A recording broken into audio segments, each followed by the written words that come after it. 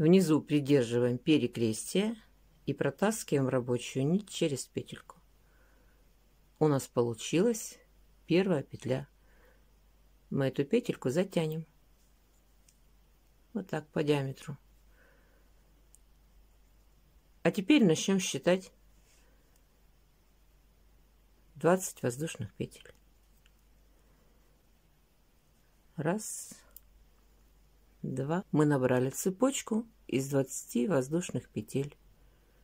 17 петель основания для первого ряда и 3 петельки, заменяющие первый столбик